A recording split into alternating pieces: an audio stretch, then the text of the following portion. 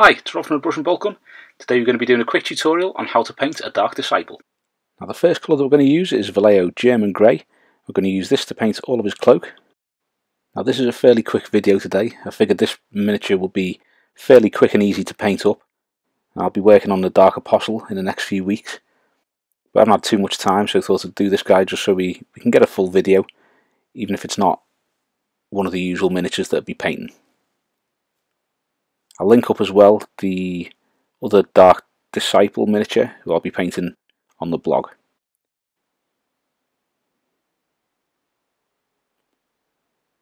With that finished, we're now going to go on to Mephiston Red. I'm going to use this to do the interior of the cloak, so all the parts in his sleeves and where the cloak's sort of folded round by his legs.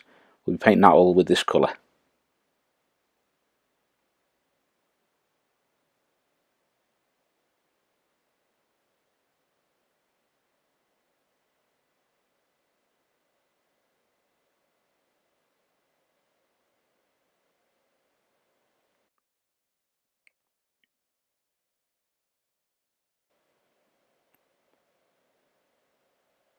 That's it for the Mephiston Red. Now we're going to be using the Citadel Mechanicus Standard Grey. We're going to be doing just the sleeves on his forearms.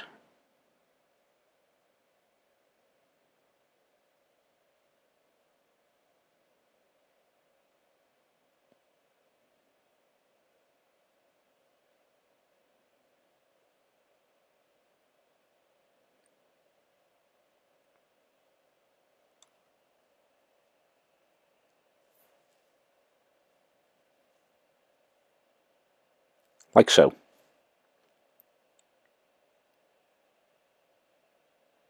The next colour that we're going to use is Citadel Leadbelcher. That's going to be to do the chain and the ball at the end of it. Now this guy is only 5 points worth for the miniature, because he's the sidekick, or one of the sidekicks for the Dark Apostle, giving him a bit of a bonus.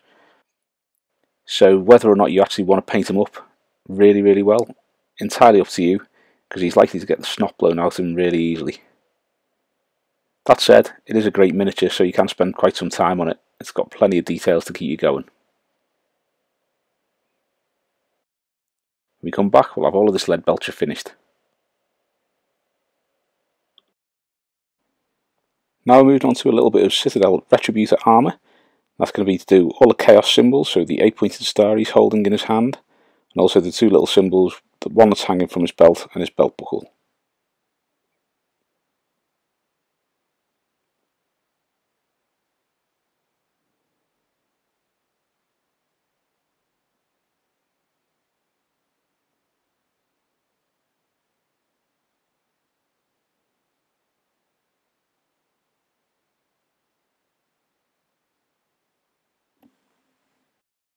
We'll just carry on with that. When we come back, we'll be on to the next colour.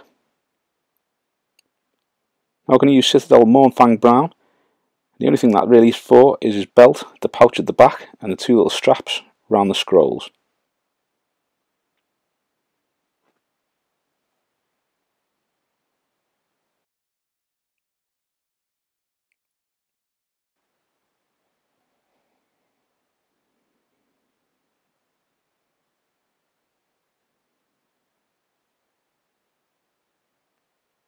like so. Now we're using Citadel Rakarth Flesh. I'm going to use this as the base coat for the two scrolls and also for the skull.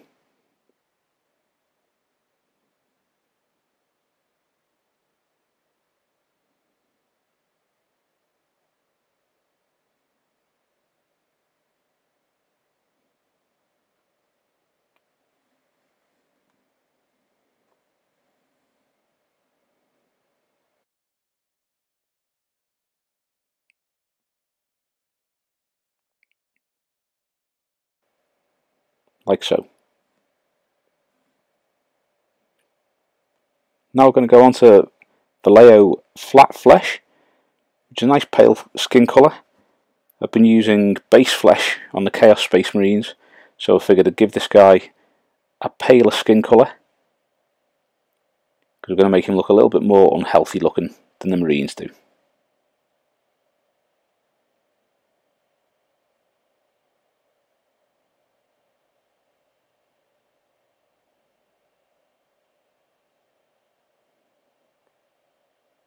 Just finish that off, then on to the next colour. Now using Vallejo White, and that is going to be to do the flames or the smoke that's coming out the back of the skull. I'm going to do it as fire so it ties in nicely with the Master of Possessions that we painted a while ago. So for this you want to be getting a nice smooth white layer, so it may take you a few coats to get that smooth layer, but just keep going until it is really really flat white colour, because that'll work better when you start doing the shades for the flames. When we come back, we'll have all of the white finished.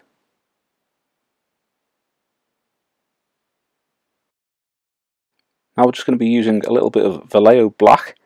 That's going to be used to do his shoes and the underside of his cloak where it sort of flares up.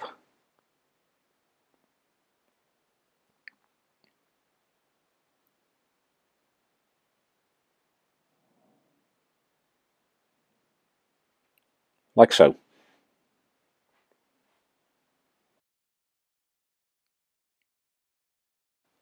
Now we're just going to be using Vallejo Beige Brown, and that's just to do all the cords on the model. So you've got the ones holding the Chaos symbol on his belt, and also you've got some just beneath his hood.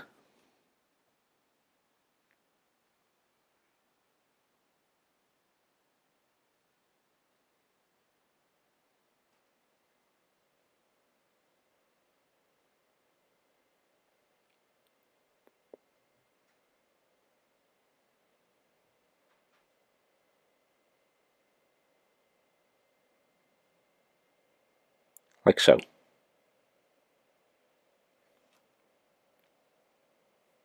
Moving on to the shades now, we're going to start with Citadel Nuln Oil. Now, a huge amount of the model is getting this, so all of his robes, or the black part of his robes, and the grey, you're going to be doing that with Nuln Oil. And also all the silvery metallics, so the chain and the ball at the end of it as well.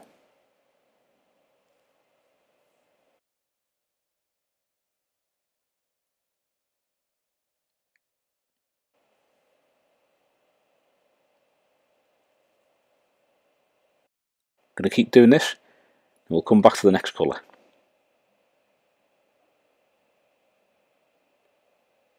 Next we're just going to be using a little bit of Reikland Flesh Shade and that's just to do all of his skin.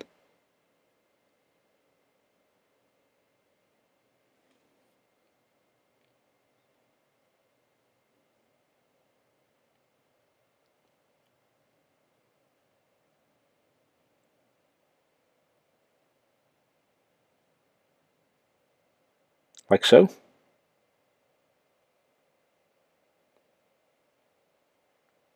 Now we're moving on to Citadel Seraphim Sepia. I'm just going to use this on the scrolls and also on the skull.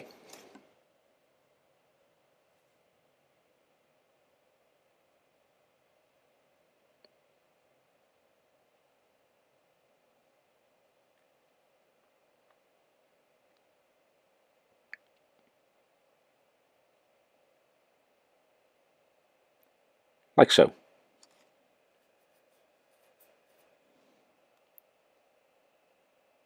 Now the reason we left the eyes white when we did the Seraphim Sepia is so that we could use the Citadel Casandora yellow just to make it look like the inside of the skull is glowing with a bit of fire. We're also going to use this to paint the whole length of the flame as its initial base colour.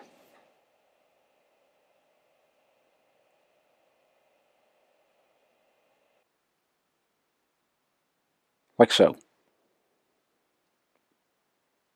The next colour that we're going to use is Citadel Druchii Violet Shade, and that is going to be to shade all the areas that we've used Mephiston on red.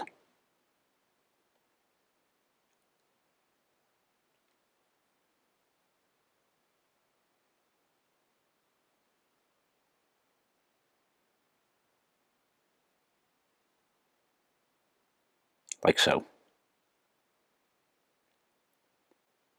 Now we're moving on to Citadel Agrax Shade. And this is going to be to do all of the gold.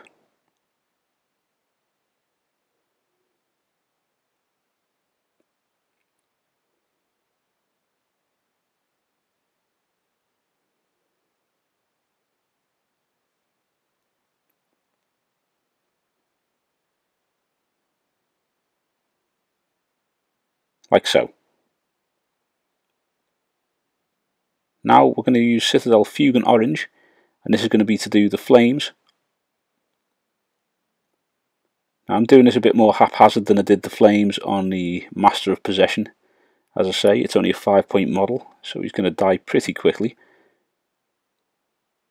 So I figured that I'd just do a bit of a quicker flame on this model than I did on the other.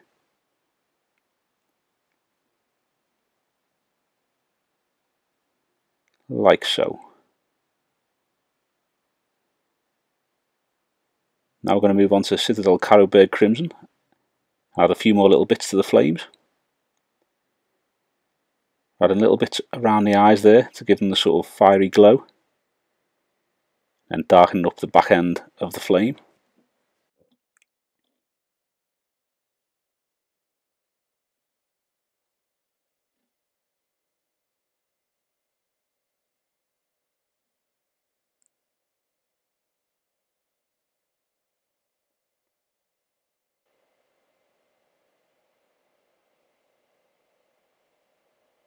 Like so. Now it's Citadel Agrax Earthshade. We're going to start shading the skull. Now I'm using Agrax Earthshade for this, and I'm going to be using Nuln Oil to follow. And this is just to darken it up to make it look as though it's charred. So you want to keep adding layers of Agrax Earthshade just to darken it up, making sure you don't get it in the eyes or in the little holes in the head. And just keep doing layer after layer after layer to darken it up. And then we're going to do a couple of layers of Nuln Oil just to finally char it.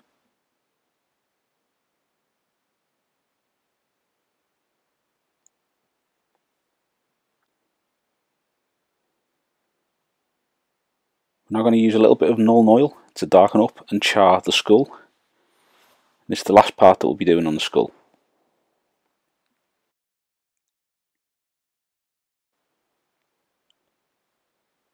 Again you're avoiding the holes in the eye sockets and just charring up the areas of bone around them.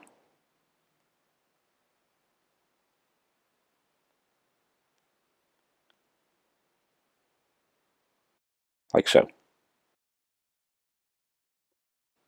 We're also going to use a little bit of Nuln Oil, not to do too much smoke on the flame, but just to darken up a few little bits of it. Now the areas I've gone for, there's a few little bits that look like a bit more rounded than the flame areas, so I've kind of gone for them and darkened them down with a little bit of Nuln Oil, but I haven't gone overboard with it.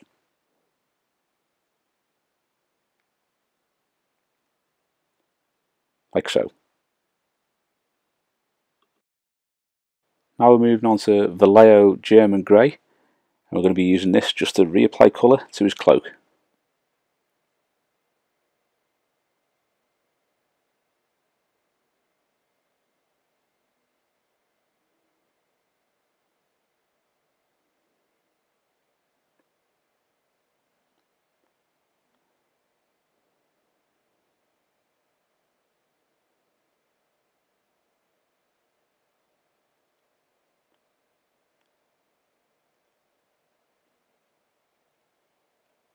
We come back, we'll have all this grey finished.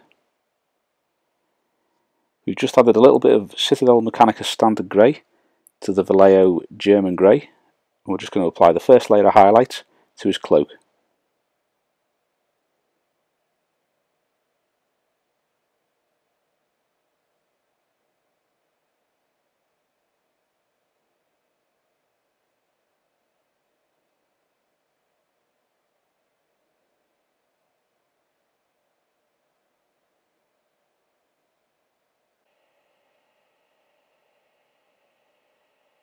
Like so. Now we're just going to use a little bit of pure Citadel Mechanicus Standard Grey and this is just to do the extreme highlight on the cloak. So you want to be doing the underside of any little holes that are in his cloak, any thin ridges where it'll be catching the light, the very extreme edges of any raised details, just to give it that final highlight.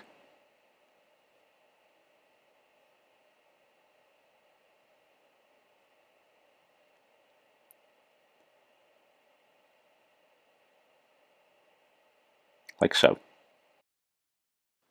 I'm going to start working on his skin. So we're returning to Vallejo Flat Flesh We're just going to reapply that as a base layer, making sure that you leave some of the Reikland flesh shade in the recesses.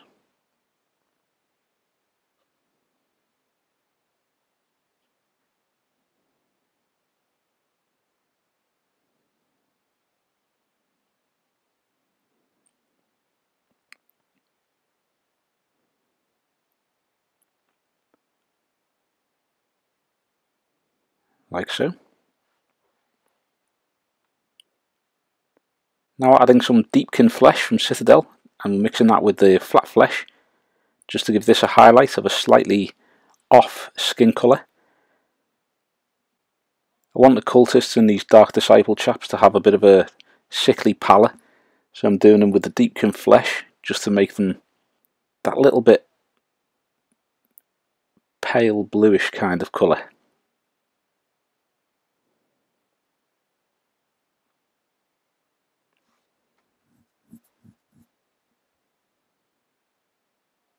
Like so. Now we're going to add a, little bit more Deepkin flesh to that previous mix.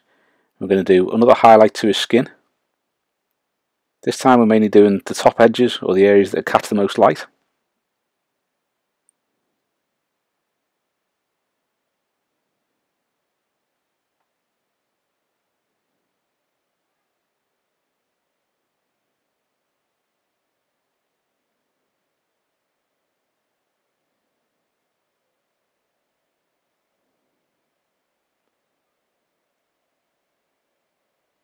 Like so. Now we're moving on to the Citadel Retributor armour. We're just going to reapply that to some of the golden areas.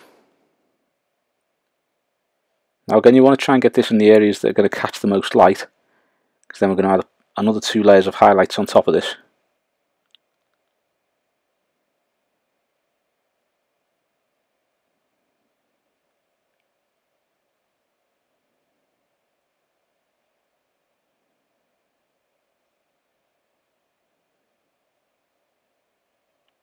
And when we come back, we'll have all this layer finished. Now I'm just going to use Citadel Liberator Gold, and this is to highlight the gold sections on them. So where you've put the Retributor armour previously, you want to be adding the Liberator Gold to around half that area.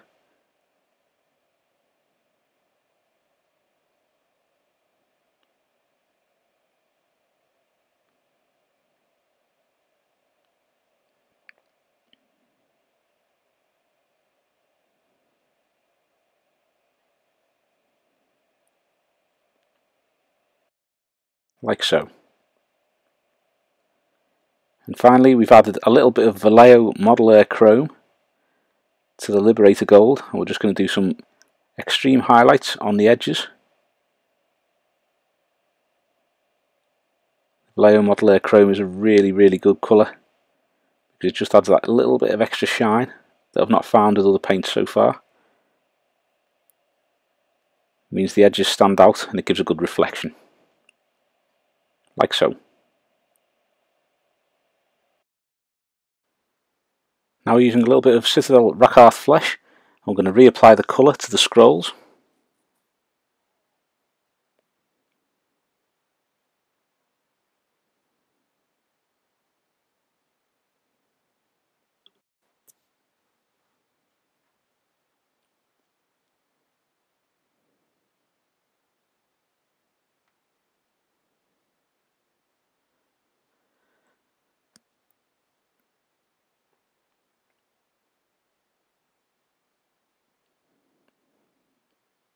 Like so.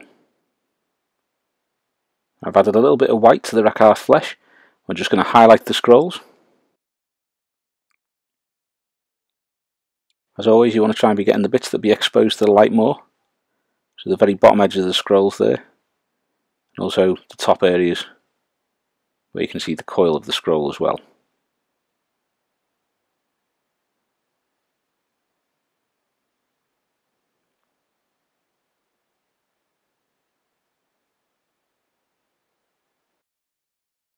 Like so. Now add a little bit more white to the mix again. We're just going to do one final highlight on the scrolls. It's going to be on the very, very edges of the areas that you've just highlighted.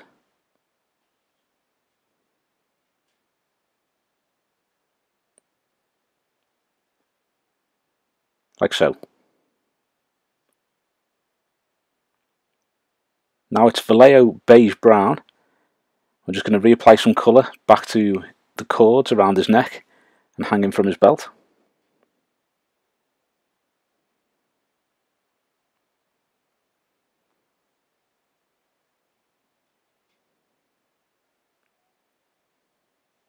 like so.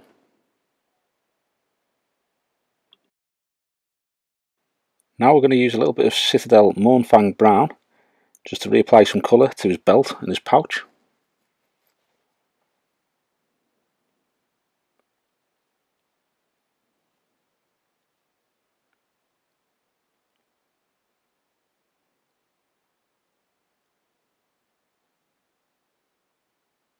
Like so. Now onto Citadel Leadbelcher. We're just going to get that shine back onto the chains, onto the ball at the end there.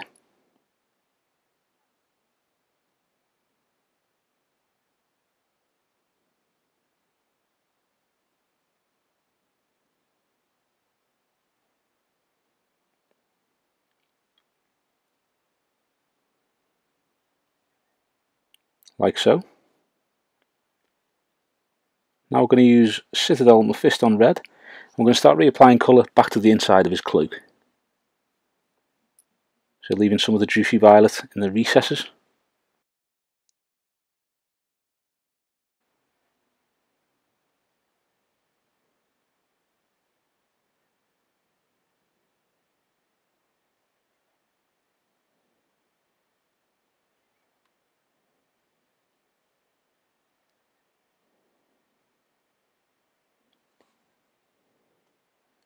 We come back, we'll have all the red finished.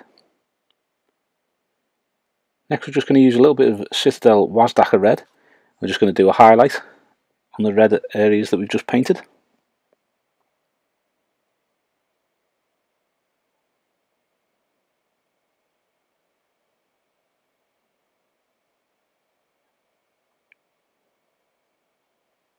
Like so. Now while we've got the Wazdakka red out, we're just going to do the first highlight on his eye lens. This is going to be the bottom left hand half of the lens. We're going to use Wazdakka red on it. Then we're going to mix a little bit of Vallejo white with the Wazdakka red. And we're going to do another highlight. And it's going to be the bottom left hand quarter that we're painting with this.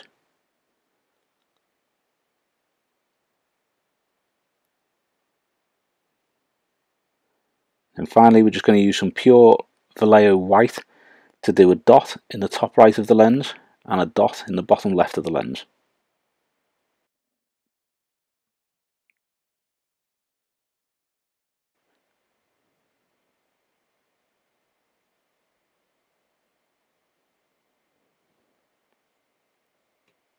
Like so. Now we're going to be using Citadel Mechanicus Standard Grey I'm just going to reapply some colour to his forearms. Now you're only adding this to around the top half of his sleeve, leaving some of the German grey and the shade in the recesses.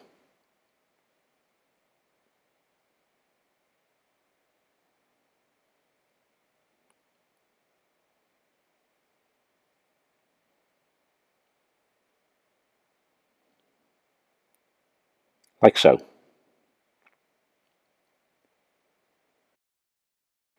Now we're just going to add some white to the Mechanicus Standard Grey and do a little highlight on his sleeve. The highlight you only want on maybe the top quarter of his sleeve.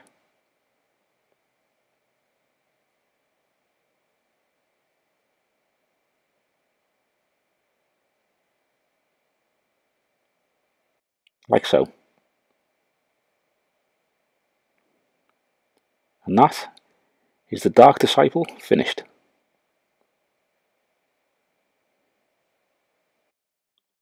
Thanks for watching, I hope you've enjoyed the video and if you have, please give it a thumbs up and subscribe to the channel below so you don't miss any future content. And also think about subscribing to some of our other social media linked below. Thanks very much.